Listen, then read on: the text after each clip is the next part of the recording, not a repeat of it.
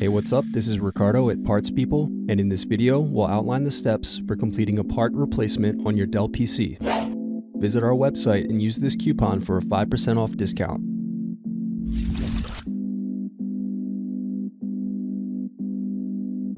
First, slide over tabs and remove battery. Then unscrew and remove access door. Now remove bottom base screws.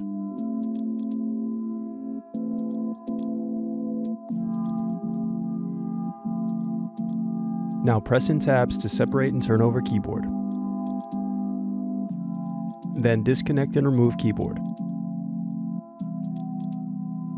Now unscrew palm rest. Then disconnect cables and remove palm rest.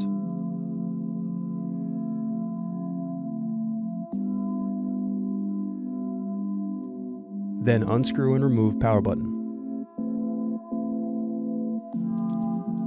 Thanks for watching. Don't forget to like and subscribe if you enjoyed this video.